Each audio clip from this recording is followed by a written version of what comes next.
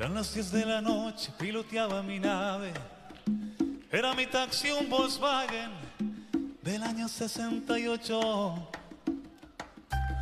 Era un día de esos malos donde no hubo pasaje. Las lentejuelas de un traje me hicieron la parada. Eran las 10 con 40, zigzagueaba en reforma. Médico me llamo Norma, mientras cruzaba la tierra. Le pregunté por quién llora y me dijo por un tipo que se cree que por rico puede venir a engañarme. No caiga usted por amores, debe levantarse. Le dije. Cuente con un servidor si lo que quiere es vengarse. Y me sonrió.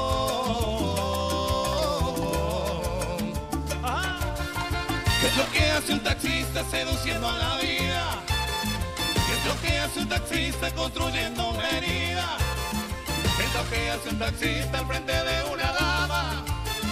¿Qué es lo que hace un taxista con sus sueños de cama? Me pregunté.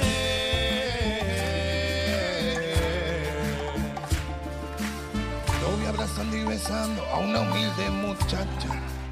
Es de clase muy sencilla, lo sé por su facha.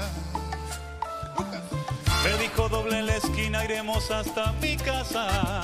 Después de un par de tequilas, veremos qué es lo que pasa. A ver. ¿Para qué describir lo que hicimos en la alfombra? Decilo, decilo. Si basta con resumir que le besé hasta la sombra y un poco más.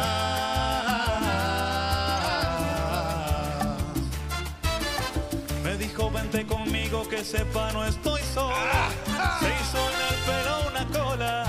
Fuimos al bar donde estaba. Dilo Darío.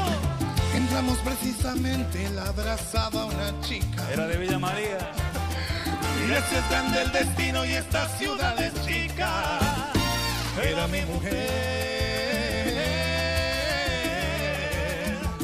Era mi mujer.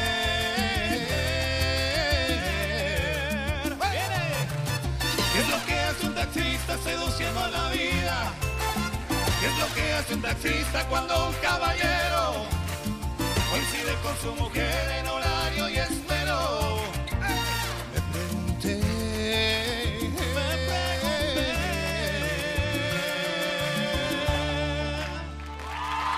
Gracias. Historia de un taxi. Darío Lazarte y Lucas Belbruno.